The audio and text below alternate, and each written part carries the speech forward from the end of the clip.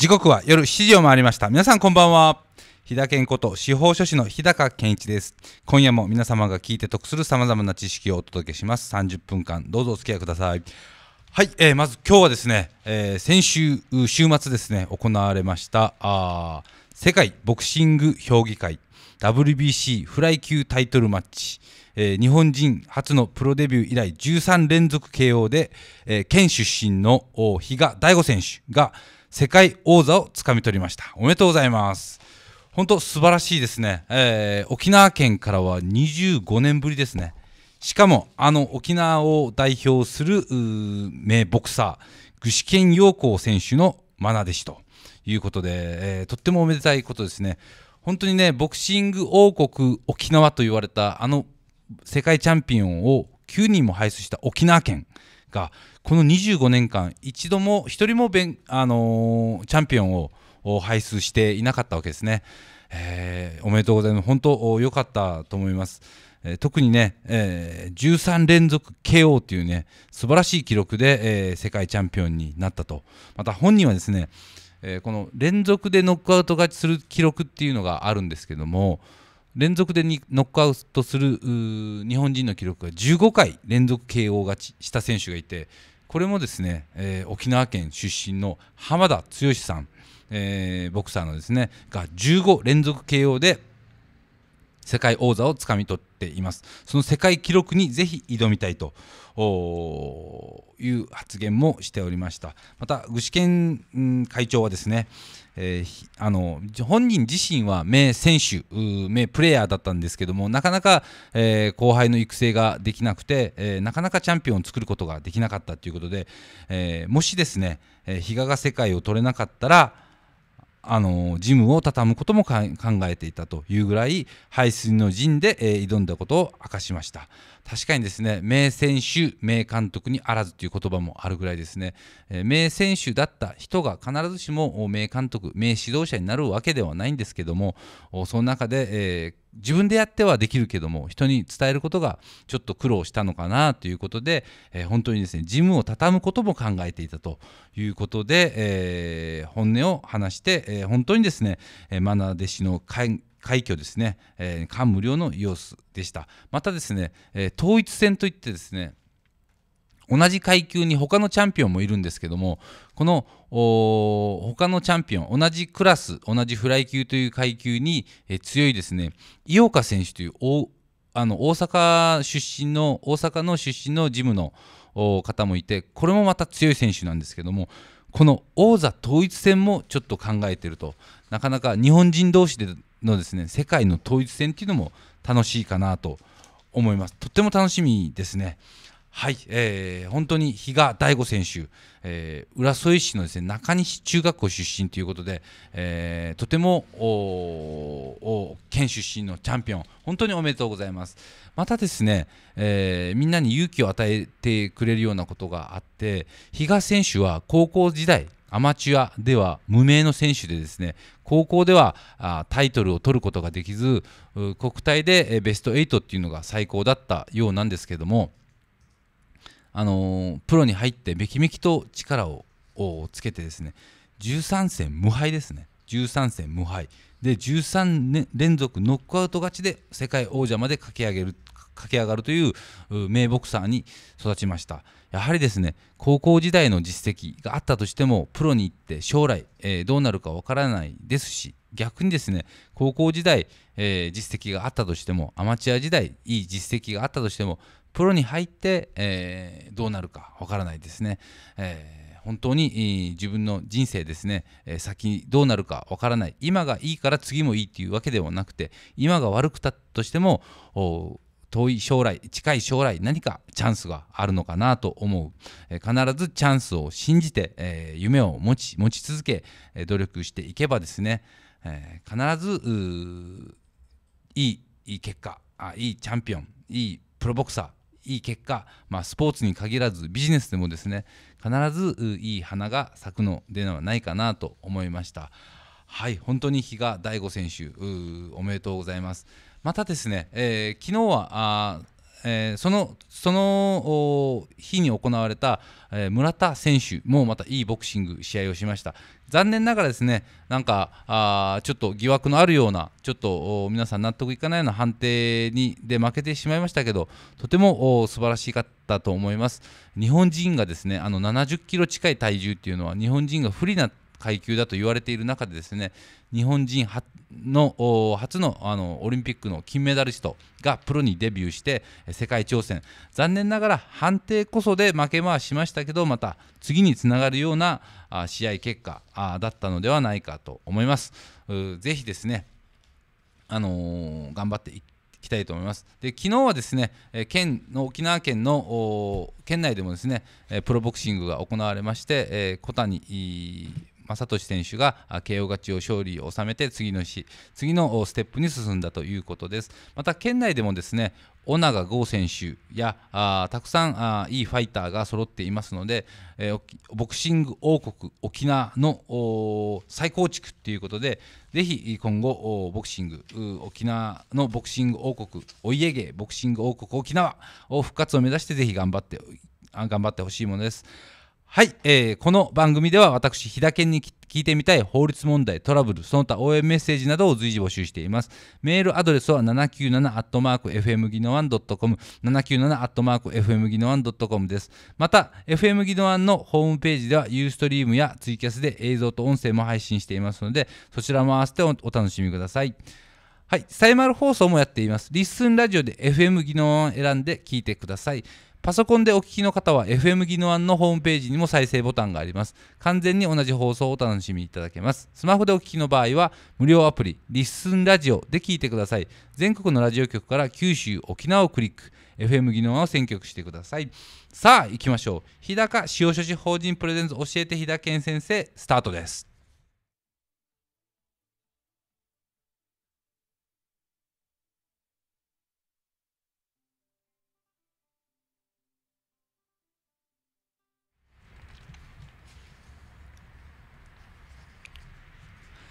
はい、えー、今日のですね、日田健先生、教えて日田健先生の法律相談のコーナーなんですけども、えー、今月5月29日からですね、新しい相続の手続きを定めたあ制度が始まります。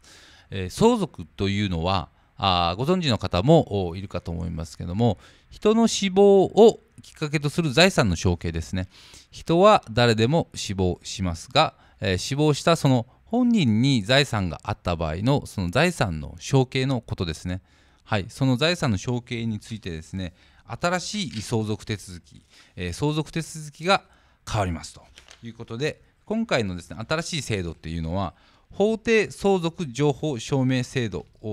ということになりますね。はい、えー、そういうことで、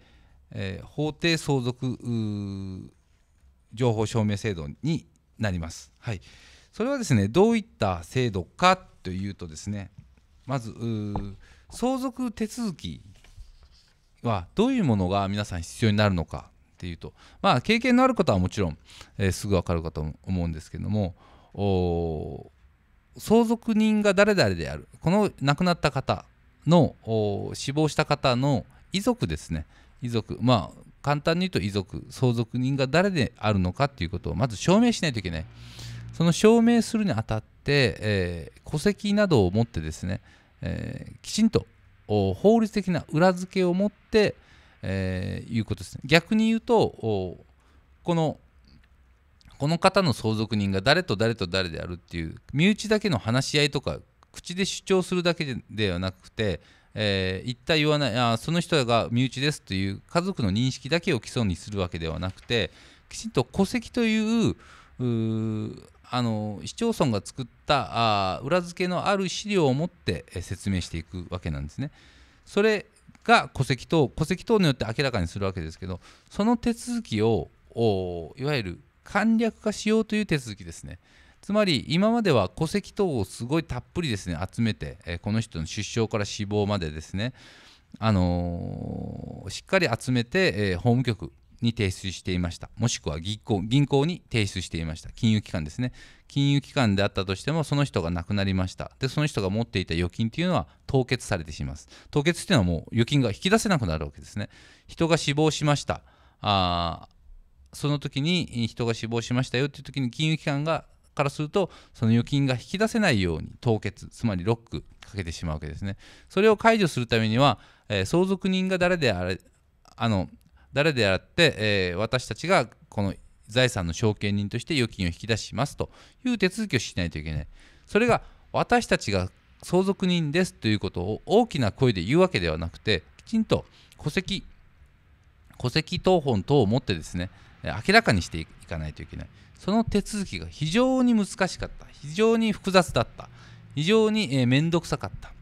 そういった手続きを簡略化するのが法定相続情報証明制度であります。はい、えー、そういった手続きをですね、一旦こう作ってしまえば、今まで、何百ページにもなる戸籍あの100ページ程度ですねなることもあればもう本1冊ぐらいになることもありましたし、えー、いろいろ複雑ではありました。もちろんね、えー、家族が少なかったりだとかあ本籍の移転、えー、その例えば宜野湾市や宜野湾市のみでの出生から死亡であればそれほど大きな、あのー、複雑な手続きにならなかった場合もあったんですけども、えー、とまあ、例えば本籍移ったりとかもしくは沖縄だったら外国に行ってみたりですね。外国の人に嫁いでみたりだとかいろいろさまざまな事情で戸籍関係が複雑になったりする時もあります。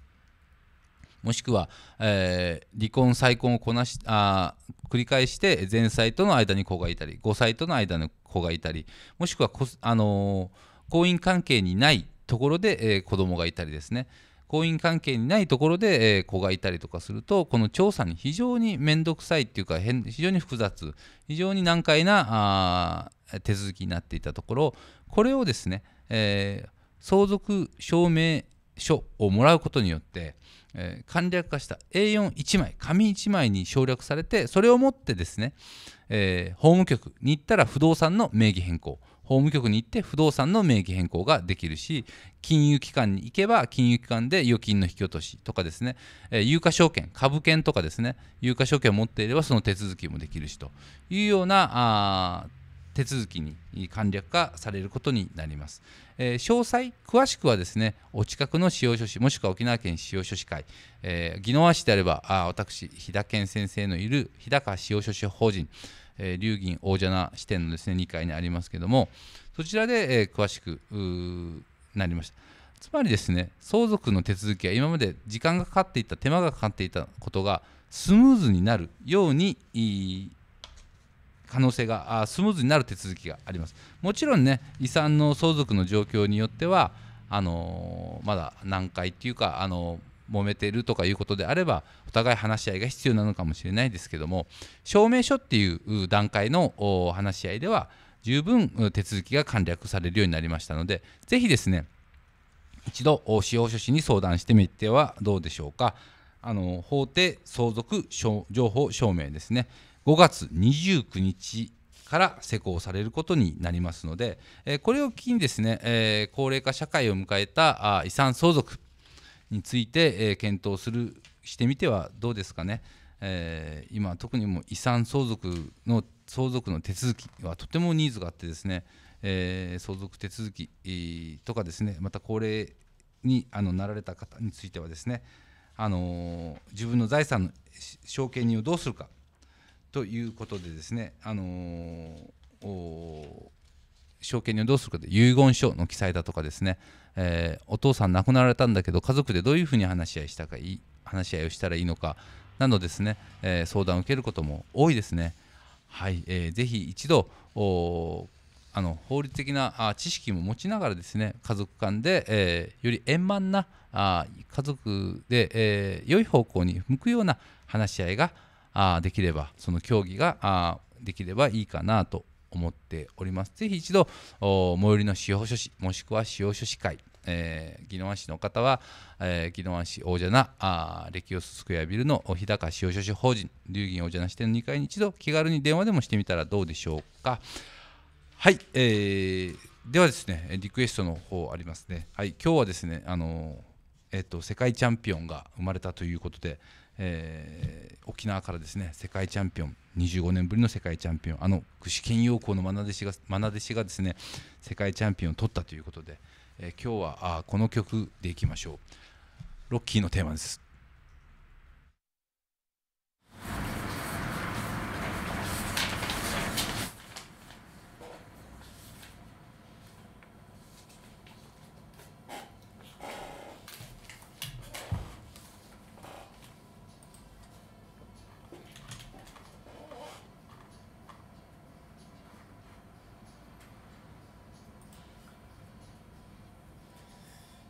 ぐらいあるの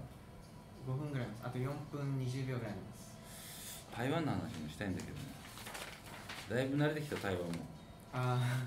今回どこに行ったんです？だけどまた一緒なった感じだって。え行く場所ははい。あのキールン行って、はい。あ余市じゃないや台北からキールン行って、あはい。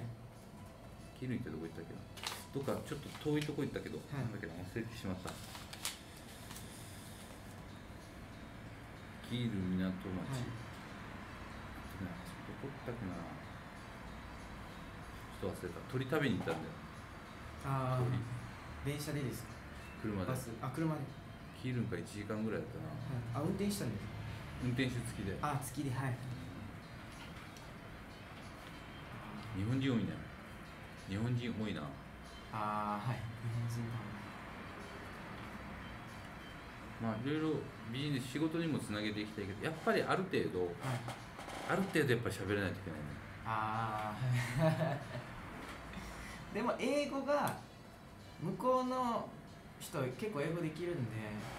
それこそ大卒クラスなんだから結構みんな英語を喋れるんです若い人は英語できる若い人上の人は英語できないでし。ょそうです。上の人は。英語できないもんね。そうです。中堅の人はね。一番多分この真ん中の人とコミュニケーション取るのが難しいかもしれないです。若い人は日本語喋れる人もいるし英語も喋れる人もいるんで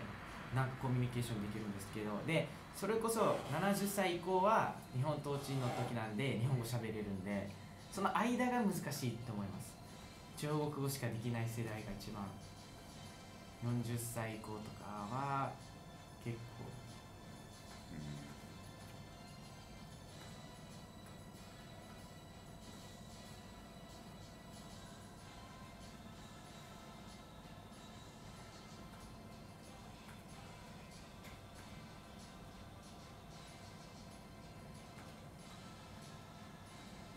ヶ月ぐらい住もうかなと思って。ああそうですね。1ヶ月ぐらい。向こうの語学学校に行くっていうのが大体オーソドックスなパターンですね。外国語を勉強するときに。語学学校ってどれぐらいから期間あるあの本当にピンキリです。なんかもう1週間だけとかのもあります。2週間とか1ヶ月とか半年。俺が考えてるのははい。1ヶ月はい。4週間行はい。って、はい。えー向こうで英英語と語学学校行くああはははは。向こうの英語学校行こうかああなるほど。はいな英語とうん台湾語と両方ごちゃ混ぜで勉強したら、はいもしかしたら英語で中国語の勉強をした方が一番いいかもしれない。そういう方法もありますあそうだ、はい。でもそれどこ行ったらいいの？えーっと要するに多分このなんだろう日本人相手に中国語を教えてるクラスとか英語圏相手の人に中国語を教えてるクラスが多分あると思うんでこの英語圏相手のところに行くんですよ。ただ難しいかなと。レベル高いし。レベル高いと思います。それこそにあの中国語わからなくて英語しかわからない人が普通に勉強する感じなので英語も多少ネイティブぐらいネイティブとまでいかなくてもそのアメリカ人とも普通に意思疎通できるぐらいのレベルないと難しいかなと、だよね。はい、2つ通った方がいいんじゃない？台湾でやる台湾でやってるあ日本人向けの英語学校か。そあ日本人向けの台湾にないよね日本人向けの英語学校って。あーもしかして探したらあるかもしれないんですけど少ないんじゃないかなとやっぱり。難しい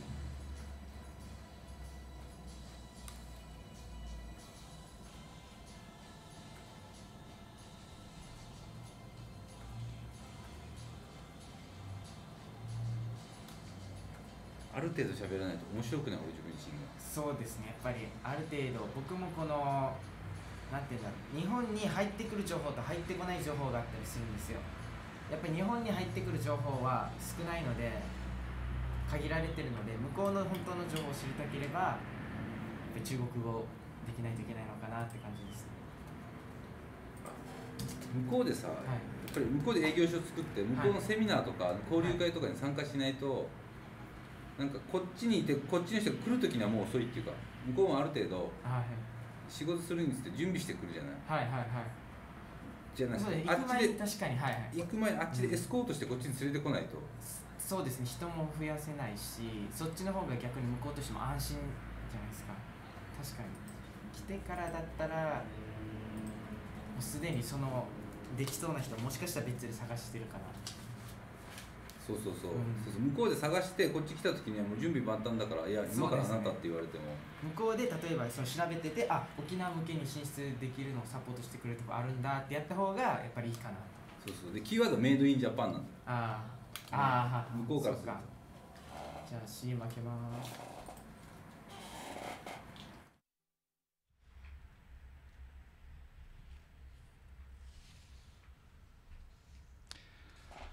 はい、えー時刻はあ19時21分、えー29秒を回ったところであります。はい、えーっとですね、僕の方ですね、先週なんですけども、お先週の水曜日、木曜日、金曜日までなんですけど、お台湾、うん、台北ですね、とかあ行ってきました。まあ、感想なんですけども、台湾ってやっぱりとても、まあ、あ日本と仲いいっていうか、まあ、いいですよね。えー沖縄からすると、おーなんていうんですか、一番近い外国というか、とっても身近に行けるし、日本人多いですね。えーとても日本人多くてに、まあ喋れなくても、観光するぐらいだったら、あ観光するぐらいだったら何の問題もないですね。逆にもう沖縄の方言がつながる伝わるぐらい沖縄の人も多いですし、えー沖縄料理屋さんなんていうのもあるし、とってもいいですね。あの大体、まあ、沖縄、日本人、だけど外、から見たらあまりどっちかが分からないんですけどね、はいえー結構良かったです。食べ物もいいですし、やっぱ多分ね、台湾の食べ物に馴染めるかどうか、あの八角の似合いに、八角が受け入れられるか受け入れられないかじゃないかな。そんな感じだよね。だから、だから八角、まあ、いろんな、まあ、料理の違いもあるし、文化の違いもあるけど、似てるところもまたあって、それを面白い。やっぱり、近いけど外国なので、同じ面も楽しめて、違う面も楽しめていいかなと思います。あとやっぱり、少しやっぱり北京語でね、ある程度コミュニケーション取れたら楽しいなと思ったので、やっぱり勉強したいなと思いました。やっぱりね、年配の人は、あのーおー英語が通じないから、で英語が若い人は英語が通じるけどね、あのーだからちょっと微妙なんですよね。英語が通じないからなかなか難しい。うん、ただまあ一つの、まあ、沖縄出身の沖縄大学出身の人がと向こうで出会って、えー沖縄大学で僕はビジネスで仕事で行ってるからお昼あのランチどうしますかってどういうところに行ったらいいのかなっていうのがあって僕の希望としてはあのじゃああなた沖縄大学出身だから沖縄大学出身の台湾の人なんだけどもあなた沖縄大学出身だったらじゃあ、えーやんばる食堂とかルビーとか知ってるかっていうふうに言ったらそれでも通じた。OK っていうことで行ってあのお母さんたちがあのお母さんたちだけで作ったあの食堂に連れてってもらって、えー本当に向こうの台湾の定食。だからやんばる食堂とルビーみたいなところでいいよって言ったらはい了解ですっていう感じだったんですけどそれぐらいなんか俺ここにいて沖縄とかあまり変わらないんじゃないか全然楽しいあの良かったです。でそういうああいうあのアンマーが作る定食っていうのかな。台湾のもなかなか楽しかったです。な感じですねまた行きたいと思ってますし近いうち行きたいなと思うし1ヶ月ぐらい住もうかなと思う本気でアパート探したりもしたのでねはい、えーそろそろお時間です。実際に飛騨県に聞いてみたい、相談してみたいという方は、ぜひ一度事務所の方までお問い合わせください。場所は、宜野湾市大蛇名モスバーガーの裏、レキオススクエア宇治止まりの2階になります。1階は au さんなのですぐわかると思います。電話番号は098-917-4905、098-917-4905です。相談は無料となっております。Don't worry, be happy 安心というキーワードに向けて日高司法人プレゼンツ教えて日田健先生お相手は日田健こと司法書士の日高健一でした See you next week. Bye bye.